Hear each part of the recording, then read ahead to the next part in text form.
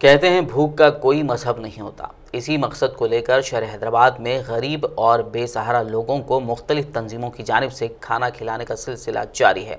A S I L social welfare association की जानब से हर जुमे के रोज़ टोली चौकी इलाके में एक कुंटल चावल पकाकर गरीब लोगों को मुफ़्त खाना खिलाया जा रहा है। एसोसिएशन के ज़िम्मेदार मोहम्मद इलियास और नाना नगर कॉरपोरेटर इस मौके पर गरीबों को खाना खिलाते नज़र आ रहे हैं।